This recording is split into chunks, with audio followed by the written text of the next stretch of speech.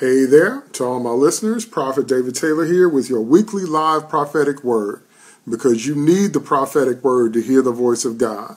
That's why so many Christians are defeated, and that's why so many Christians are broken down because God would have told you what was going to happen if you had listened to his prophets. All right, so we're going to jump in uh, with our scripture and our prophetic word. That would be Psalm 33, verse 6. That would be Psalm the book of Psalms, Psalm number 33, chapter 6. Out of the King James Bible, that says, By the word of the Lord were the heavens made, and all the host of them by the breath of his mouth. Now, it pretty much says that in all the other translations, but uh, I'm going to read New Living Translation and then NIV. New Living says, The Lord merely spoke, and the heavens were created. He breathed the word, and all the stars were born. Then the NIV says, By the word of the Lord the heavens were made, their starry host by the breath of his mouth. Okay? Now, what does that mean for us and why is that relevant to us today? I'll tell you why. Because many of you have been crying out to the Lord about a blessing, and many of you have been crying out to God about increase, and many of you have been crying out to God about a lot of things. Okay? God wants to let you know two things. The first thing that the Lord wants to let you know is that He's the creator. It says, By the word of the Lord the heavens were made, and their starry hosts by the breath, by the breath of His mouth. That means that everything that is in existence, okay, the heavens and their starry host, God literally breathed it. He breathed it into existence. You understand what that means? That means that when God said, let there be light, when God divided the light, when God said everything he said, it was his breath that made it come together, that made it coalesce. Okay? So that's the first thing the Lord wants you to know that he's the creator. But what's the second thing? The thing that's relevant to you. I'll tell you what that is. What that is, is that for you to get the increase and the blessing and all the things, you've been praying for and believing for and talking about, God has to breathe on it. Okay? God has to breathe on it. God has to breathe life into whatever it is that you're talking about. Remember when God made Adam, he carved out his body and then he leaned over and breathed. breathed into his nostrils the breath of life. And then, Adam, God bless you. God bless you. And then uh, man became a living soul after God breathed on him. So for you to get the increase, God is going to have to breathe on what you're doing. That's the thing. Okay?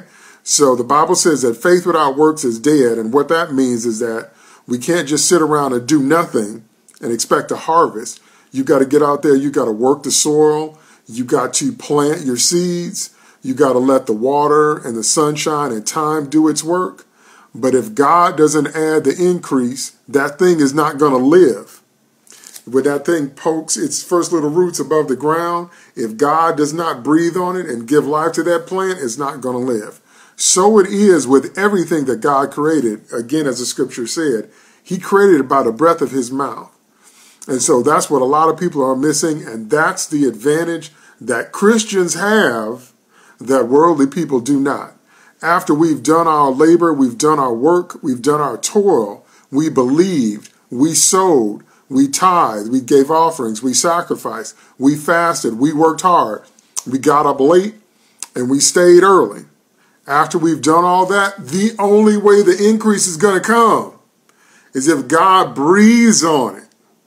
Okay? So those are the two things that the Lord wants you to know this week to give you encouragement that number one, He's the creator. He's the creator. He's the one that put it all together, number one. And number two, for that thing to come to life, God is going to have to breathe on it. And that's how it's going to come to life. So what I want you to do is today, don't wait another day. Don't wait till tomorrow. Do it today. Take all the things you've been working on Take all the things that you've been believing God for, wherever you have them written down. If you don't have them written down anywhere, write them down because I got my stuff written down. I got I can pull up my, my project sheet right now. I want you to take that and I want you to lift that up to God. Okay? And I want you to ask the, the, the Creator, the Almighty, to breathe on what you're doing. To give the increase. I want you to honor Him and acknowledge Him and quote this scripture to Him. Say to God, by the word of the Lord, by, the, by your word, Lord, were the heavens made, and the starry host by the breath of your mouth. I'm not going to have increase, oh God, if you don't breathe on it and lift it up to God. Okay? And once you lift it up to God, then I want you to do a prophetic movement and I want you to breathe on it. breathe right on your project sheet. Say, Prophet Taylor, that sounds crazy. I know it sounds crazy, but it's a prophetic movement. What does that mean? That means that we do something in the natural that's indicative of what's happening in the spirit. That's what prophetic movement means. That's why you do stuff like that. Many times in the Old Testament, when God had them go out into battle, God would have them shout or break a pitcher. Sometimes he just had a march in silence. Why did God do that? Because he was having them do something in the natural that was reflecting what was going on in the spirit. So take your projects, take your prayer list, take the things you've been believing for, lift it up to God, pray Psalm 33 and 6, then you breathe on it. Just like that okay? And that's going to be symbolic of what God is going to do uh, to give you the encouragement you need to let you know that that thing is going to come to life because of the breath of the Lord, because everything comes to life because of the breath of the Lord. Again, this is the advantage that we have as believers that unbelievers do not have. Okay? They can't lift up their works and ask God to breathe on it because God's not going to honor their works. God's not going to honor things in the kingdom of the world. That's the domain of the devil. The devil have to bless them. And whatever the devil look like he blesses you with, there's a hook in it. There's how it looks on the surface. It's all shiny and, and nice and, and pretty and attractive and looks good and all that. Hidden behind that is, is a hook.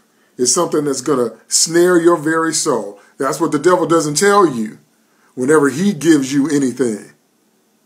Okay? How do you think so many people ended up in the wrong relationship? Because you got with somebody just because they look good. You got with somebody just because they made you feel good, but you didn't understand that inside that person that the devil sent in your life was a hook for your soul, like Samson and Delilah, was something designed from Satan to destroy you. That's why God tells us not to walk by sight. God tells us to walk by faith, to believe what he has to say through the Logos word, the written word, the Bible, and through the Rhema word, the breathed prophetic word. Because I'm going to say it again, I said it in the opening.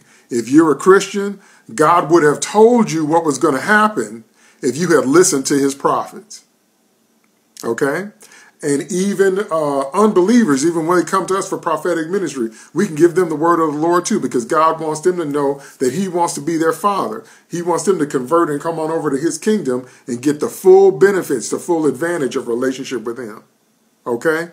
How many times have you been in a situation where you have either said it or you heard somebody say, after something happens, they say, I knew that was going to happen. I knew it. I knew I shouldn't have gone down that street. I knew I should have gone home. I knew I shouldn't have bought that food. I knew I shouldn't have bought them clothes. I knew I shouldn't have. I knew. How many times have you heard somebody say that? You know why? You know why? Because your spirit is designed to pick up the antenna from God so God can tell you what's happening before it happens. That sense in unbelievers is deadened. That's why they have to come and hear the prophetic word from us. Being believers, the same Holy Ghost that's in you is in all of us. And God wants to turn that sense up because God would have told you what was going to happen if you had listened to his prophets. Okay? So hear the word of the prophet of God today and get your list, lift it up to God, pray Psalm 33 and 6, and then you prophetically, symbolically breathe on it. And watch what God does today and this week. Okay? You're going to come back full of testimony. You'll see. You'll see before Friday. Some stuff is going to happen today if you obey this word. But before the end of the week, some stuff is going to happen where you know that it was God. There's no way it was anybody else but God because it's going to be increase that only comes from the breath of God. There's going to be no other explanation in spite of all your hard work and your preparation and all the things you did, which we do have to do. There's going to be a supernatural breath, a supernatural increase, and it's going to blow your mind. Okay. That's going to happen before Friday. Write it down. Some stuff's going to happen today, but some stuff before the, the business week ends, there's going to be a supernatural increase because you listened to, believed, and obeyed this word. Okay? That's why God gives us the Logos word, the written word. And that's why God gives us the prophetic word because I'm going to say it again. God will tell you what's going to happen before it happens if you listen to his prophets. Okay? So for those of you that are believing and those of you that are going to be obedient, be sure when I come on next time to put your testimony on the screen because you're going to see it. It's going to manifest. Okay? And I also want to let you know this Thursday I'll be doing my teaching. I want to get the date. This Thursday I'll be doing my teaching on No More Genies. That date is the 14th. So this Thursday, uh, June 14th at 7 p.m., uh, just like now on Facebook Live and Periscope, I'm, I'm going to be doing my next teaching on No More Genies. Okay? And if you're unaware what that means, I mean, I'm, I'm breaking down genie concept because genie concept has messed up a lot of people where you see God as a genie and you don't really see him according to what the scriptures say. Okay, so that's going to be this Thursday. That's a more extensive teaching, so I, I can't really do it during this prophetic, uh, live prophetic word time. So this Thursday, June 14th, 7 o'clock p.m. on Facebook Live and Periscope, I'm going to be teaching about no more genies. But again, today, the, the word today was based on Psalm 33 6, that by the word of the Lord were the heavens made, and all the host of them by the breath of his mouth. Okay? So get your, your project sheet, the thing you've been working on, pray Psalm 33 6 to God, then you breathe on it symbolically to reflect what's going to happen in the spirit. Some things are going to break today, and some things before Friday, you're going to see a supernatural increase. So, those of you that are obedient, be sure to put your testimony on the screen when you tune in either Thursday night or next week this time. All right? So, if I have any prayer requests, if there are any prayer requests, put them on the screen now, and I'll be happy to pray. Otherwise, we will do a closeout prayer. Okay, okay, there's a prophetic word I need to release too. You have any prayer requests? Put them on the screen. Okay. Any prayer requests? Okay, all right. There's a prophetic word I need to release. For behold, my people, I do not want you to be afraid. I am with you wherever you go. I am with you from your youngest days, from your mother's womb, from before your parents even meet, to your last day on earth, to your entry into heaven, from everlasting to everlasting. I am God and I'm your God, and I don't want you to be afraid. But I do want you to believe me that I will breathe on your work. I will breathe on your efforts. I will breathe on what you've been doing. And I will give you a supernatural increase. And when you receive that increase, glorify me as God. Give your testimony. Share. Open your mouth. Let people know what great things I have done for you. And as you continue to move forward, I will continue to breathe on what you do as you take the promised land. For you are a land owner, you are a land possessor, and you are a giant slayer in my name, says the Spirit of the living God. Amen and amen. All right, everybody get that? The Holy Ghost is saying that we're supposed to move forward and we're supposed to possess land, we're supposed to own land, and we're supposed to slay giants in the name of Jesus. That can only happen by the breath of God. We can't do that in our own strength. Okay? All right, so if I don't have any prayer requests, amen. God bless you. Bless you. So if I don't have any prayer requests, one more time for prayer requests. If you have any prayer requests, put them on the screen now, and I'll pray. Um, and if not, we can go ahead on and close out. That word bless me today. I want to own land. Amen. All right. Amen. We all need to own some land. We all need to own some more property. Amen. But it's not just real estate. It's also ground God has given you. Now, what does that mean? That means like in your career. It means like in your family. There might be some things in your family that have troubled your family for generations. You can go in with faith, break the spirit of that thing, and establish something new in your bloodline. So it's not just real estate, although that's part of it, but it's ground that God has given you. Uh, if you need a practical example, let's say divorce. Let's say divorce is running in your family for four generations.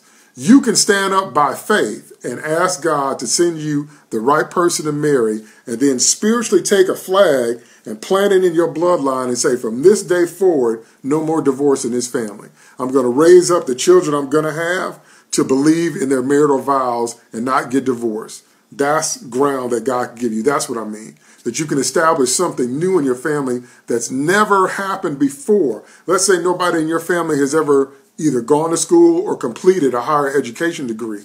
You can spiritually plant a flag and go back to college and say, in the name of Jesus, I'm going to be the first graduate of my generation and then release a spirit of educational excellence in your bloodline.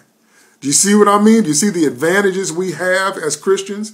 Now you have to do the work. you can't just pray it and say it and then sit down. No, that's genie concept. You can't do that. But if you're willing to do the work, to go back to school, to work hard, to get the degree, spiritually, you can establish something new. That's part of the advantage we have as believers. That no matter how long your family has something like, I know some families, for example, that suffer from chronic illness. And I know some children who grew up in faith who said, that's the end of that.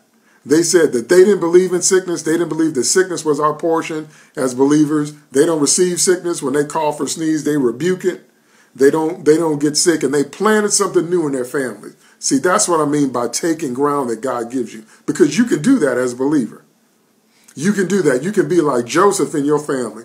No matter how much hell you've been through growing up and no matter what your foreparents did, God can establish something new in you take you to a new land, lift you up, make you a ruler in a new place, and then you breathe life on, on, on a whole new generation of people. And you're a stranger in a strange land. Joseph, Joseph was a Hebrew, and he breathed life on the Egyptians. God can do that if you believe. That's what I mean about taking ground. So when you hear the Holy Ghost saying things like taking ground, possessing land, slaying giants, it doesn't just mean real estate, although that's part of it. It doesn't just mean physical property. It means that anything that any demon has been sitting on in your family tree for generations, you can break it in the name of Jesus. You can take the written word of God, you find a scripture concerning that, doesn't matter what it is money, divorce, sickness, long life, education, doesn't matter, wisdom, spiritual gifts. If something has been sitting in your bloodline for generations, you find a scripture where you get a promise from God and then get a prophetic word and begin to breathe the word of God over that situation. Lift it up in prayer, pray God's word back to him, and then you say it. And then you have to be willing to do the work. Hey, God bless you. God bless you. Then you have to be willing to do the work. Okay? And if you do all that, you'll watch God breathe on it like he's going to do today and this week. And he's going to give you an increase. He's going to give you a change. Okay? That's the advantage we have as Christians. It doesn't matter how long a demon or the devil himself has squat on something in your family. You can start something new. That's right. You can take the word of God, the written word of God, the logos, and then get a prophetic word from a prophet and begin to speak it, claim it, pray it back to God, and watch God move and give the increase. That's right. That's right. Amen. That's right. That's right. That's one of the advantages you have as a Christian. Okay? So this is one of the one of the most beautiful parts about being born again and being a part of God's kingdom because God takes the blood of Jesus and forgives everything in the past. Your past, your parents' past. God will take the blood of the blood of Jesus, apply it to your account, and forgive. Then once God wipes the slate clean, then you ask him, what is your will? What do you want to be established in this family? I've dreamt of me going to school. That's right. If it's your dream to go to school, if that's the will of God of you, go before God and ask him, Lord, do you want me to go back to school? And if he does, then get uh, a word, uh, uh, a scripture on it, start to speak it, get a prophetic word, start to speak that, and watch God move. But you got to do the work. You got to go to class, you got to do the homework, you got to pass the test. Okay, you got to do your part in the natural. I can't stress that enough. Okay? That's part of the advantage of being born again. Haven't you ever seen families where generation after generation after generation all die of the same thing? Haven't you ever seen families where everybody die before they 40? That's not an accident. Haven't you ever seen families where everybody struggles with alcohol? That's not an accident. Have you ever seen families where everybody struggle with profanity? They just cuss all the time. Just every time they open their mouth, bleep, bleep, bleep. Just cut. Haven't you seen that? If you're a believer, you can stop that. You can stop it. Uh, mental health, exactly. Mental health issues. If you watch a generation, if you watch your great grandmother struggle with mental health, your grandmother, your mom, your sisters, you can stop it in the name of Jesus. Now, God is actually doing the work, but you got to do your part, you understand. So you get a promise from God in the Bible, and then you get a prophetic word from a prophet. You lift that up to God, and then you start speaking it, and then you got to be willing to do the work. And God will breathe on it, and He'll create something new in your family that's never been seen before. And you can get that demon off of your bloodline and make something new. How do you know that, Prophet Taylor? Because I've done it. Remember, I tell you all the time, anything that I'm sharing with my audience, I'm done it. I, am doing it, I'm living it, or I've done it. And I did it. I did it in many areas of my life. I looked at what had gone, uh, had gone on before, and I said, I want to establish something new, and I did it. Okay? Now, I did it in the name of Jesus, and I did it according to the word of God, and I did it, I did everything I'm telling you, and I did the work. Okay? I didn't just sit down, I actually did the work, but I watched God birth some new things in my family bloodline because I had the courage and the nerve to believe him, to believe that whatever had gone on before didn't have to continue with me and uh, my children going forward. Understand? Okay? I did it. So that's why I'm trying to encourage you, and that's why the Spirit of God is trying to let us know that He sees your effort, He sees what you've been doing. Pray this word back up to Him, speak that prophetic word, and then breathe on it symbolically, and that will symbolize the breath of the Almighty. And before this day is out, before midnight strikes today, some of y'all are going to see some changes. And before Friday, okay, before we hit another weekend, you're going to see some changes. I want to break the spirit of lust and depression off me and my bloodline. Okay. Then here's what you do. What you need is 1 John 1 and 9. 1 John 1 and 9 says, If we confess our sins, he is faithful and just to forgive us our sins and cleanse us from all unrighteousness. So if you want to break a spirit of lust and depression off your bloodline, then here's exactly what you have to do. Uh, you need to do stuff like this in private because this is not for public knowledge. But you need to write down all of your lust-based sins. Anything that you did in the spirit of lust, that, you know, hookups or whatever, anything that you did with anybody you know you shouldn't have done, write it down. Okay, because you need to make a list. And anytime you get in a state of depression, write down what makes you depressed. Okay? Then the first thing you do is in the name of Jesus, you rebuke the unclean spirit off of your life. You cast out a spirit of lust and you cast out a spirit of depression in Jesus' name. You'll feel it break off you. You'll feel a freshness in your mind and your spirit you've never felt before. So the first thing you got to do is get rid of that unclean spirit. Then you take that list and you take it before the Lord and you confess your sins and ask God to forgive you and wash those sins off your account. You'll feel a whole nother level of cleansing when, when that happens too. And then after you do that, then you have to take a scripture and you have to reprogram your mind. Okay? You have to reprogram your mind to say, I am cleansed from my unrighteousness. 1 John 1 and 9. If we confess our sins, he's faithful and just to forgive, wipe the slate clean, and cleanse so from that day forward, you start saying to yourself, I'm cleansed from my unrighteousness. I'm cleansed from my unrighteousness. Okay? You can also use 2 Corinthians 5.17. 2 Corinthians 5.17 says, If any man be in Christ, he is a new creature. Old things are passed away. Behold, all things are become new. Because you have to reprogram your mind. Once you cast the devil out, and once you confess your sins before God, things will be clean, but they'll be empty you got to fill it back up with something new. Okay? So 1 John 1 and 9 and 2 Corinthians 5 17. Therefore, if anyone is in Christ, he's a new creation. You have to reprogram your mind because the devil is going to try to bring the old stuff back. Okay? Once you cast a demon out in the name of Jesus, and once you confess your sins before God, you are delivered and cleansed. But the devil is going to try and bring it back. So you have to take the word of God and stand on the word of God and don't let him bring it back in your life. And the only thing that can stop the devil is the word of God. There's nothing else that will work. When Jesus was in the wilderness in Matthew 4 and the devil was tempting him, Jesus quoted the scripture three times. If the Lord had to quote the scripture in the face of the devil, what does that tell you? Okay? So nothing else is going to work against the devil except the word of God. So once you make that list of all the stuff that you did wrong, and once you cast that demon out of you, the demon of lust and depression, and then you take that list, you confess your sins one by one. You must name them before God's throne so God can apply the blood of Jesus, wipe them off your account, then you're delivered and cleansed, but you got to fill the house back up with right thinking, with right words, and that's 1 John 1 and 9, 2 Corinthians 5, 17, so that the devil does not, he's, he's going to try to bring it back.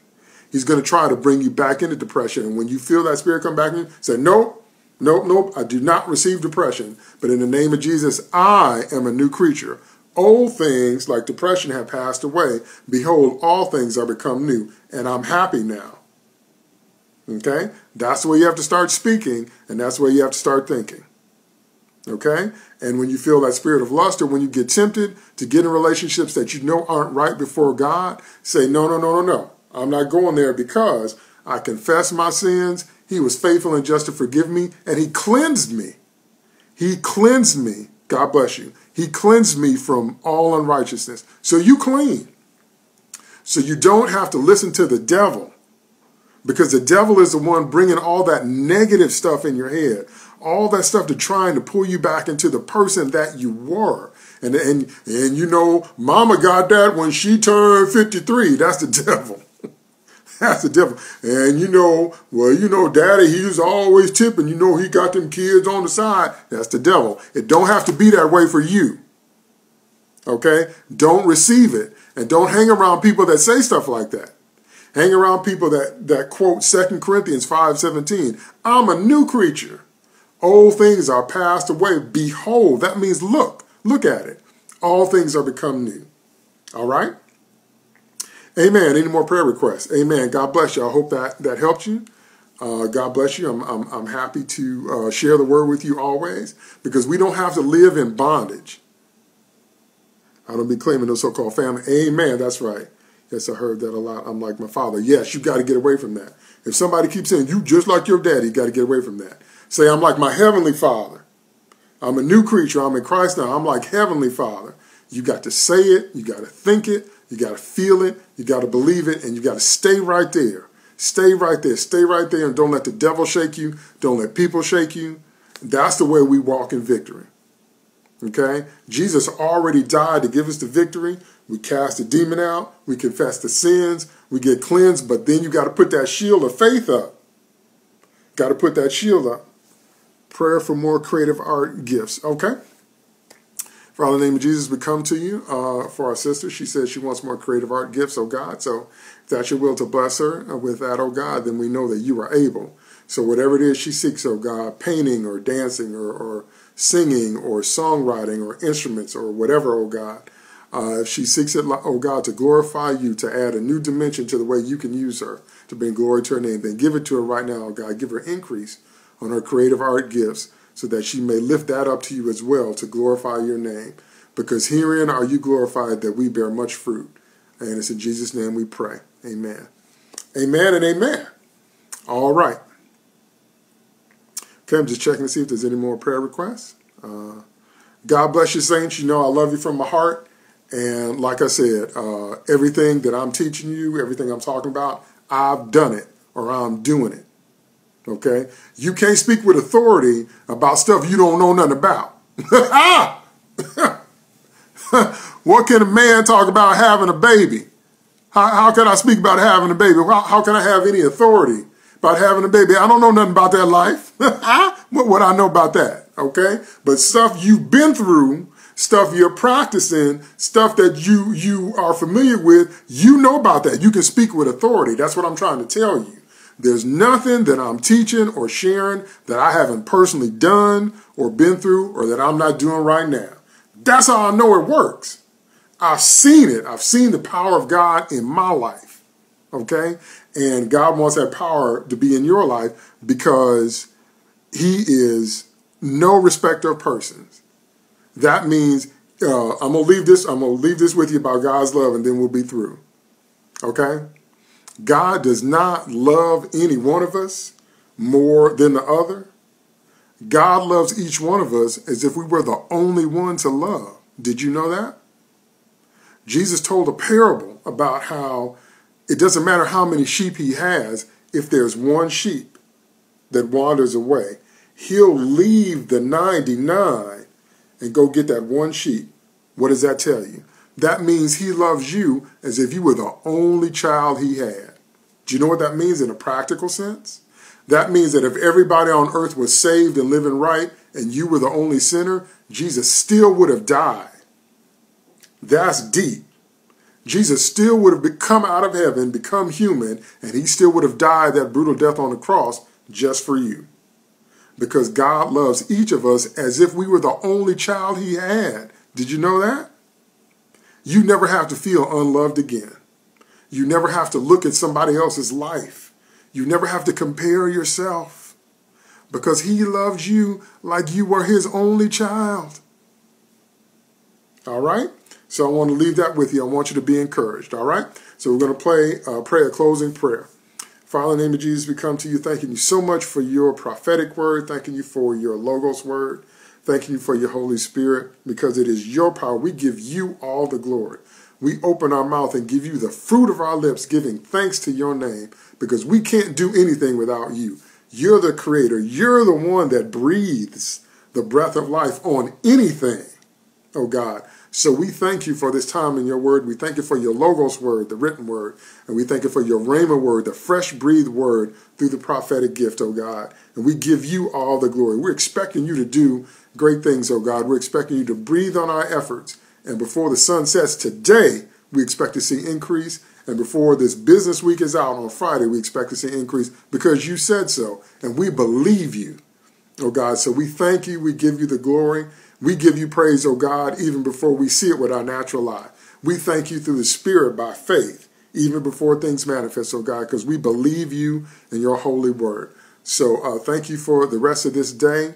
Uh, thank you for all that you're going to bring into our lives and remind us, oh God, to open our mouths and give you the glory and give you the credit so that uh, the body of Christ, the saints will be edified, and so the sinners will be challenged. So they'll be challenged to know to come out of the kingdom of darkness and into your kingdom, the kingdom of marvelous, marvelous light, oh God, because you truly are God all by yourself, and we will have no other gods before you. And we thank you for it and we believe you for it in Jesus' name. Amen. Amen, saints. God bless you. God bless you. So glad to share with you today. So uh, now again, I'll be here my regular time next Sunday, 2.30 p.m. Central Standard Time on Facebook Live and Periscope because I'm here every weekend. And then this Thursday, June, 14th, June 14th, I'll be here at 7 p.m. to do my teaching on No More Genies, where we're going to get rid, God bless you, God bless you, God bless you, you're welcome, God bless you.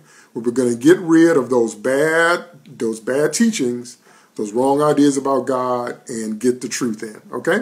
All right, God bless you. Look for that increase today. All right? And I'll see you soon. God bless.